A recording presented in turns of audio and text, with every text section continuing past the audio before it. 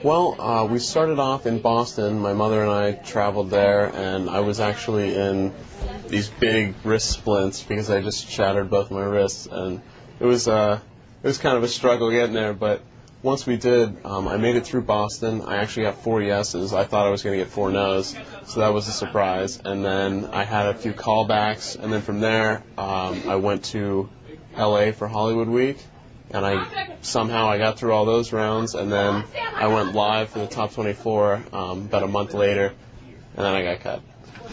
Uh, overall, though, tell me how you, you felt your experience was.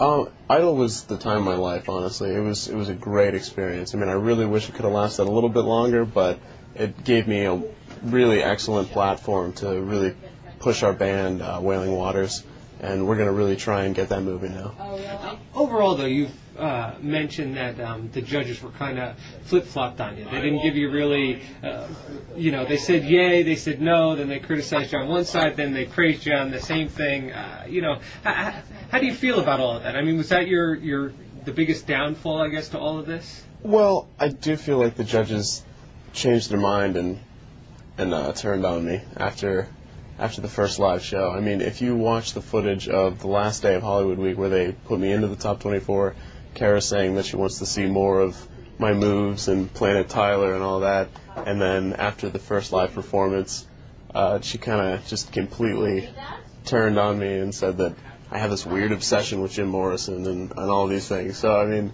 you can't, what can you do?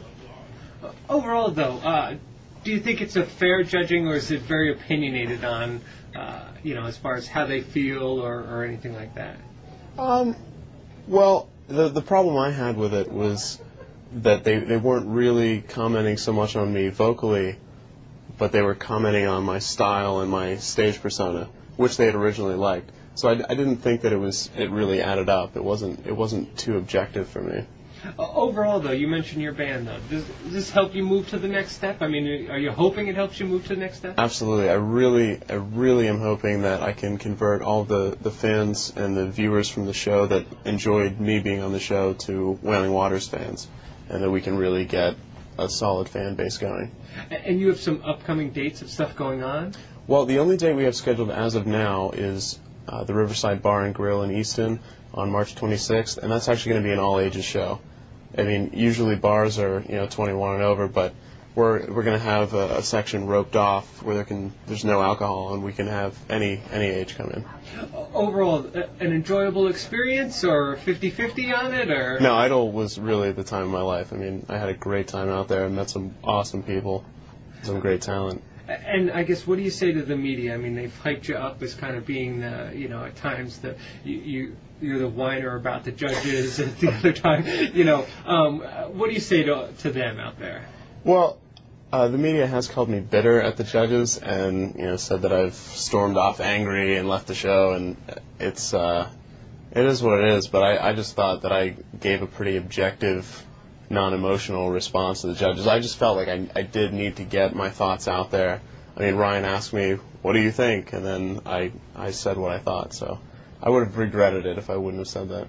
Uh, overall, how do you think uh, the area has uh, uh, taken the fact that um, Lehigh Valley has a uh, uh, someone who's been on the Idol show? Oh, the Lehigh Valley has been very supportive, and we're just hoping to get a lot of gigs out here to to really communicate with the fans and, and get a, a solid following here. Uh, if my last question, if you were to say you ha- you followed a certain persona or, or, you have a certain persona, what would it be about you that you think stands out amongst others?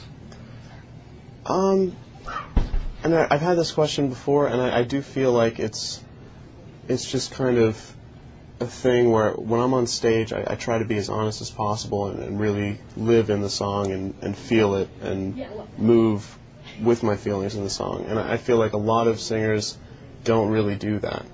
So I, I would say that that sets me apart. Okay.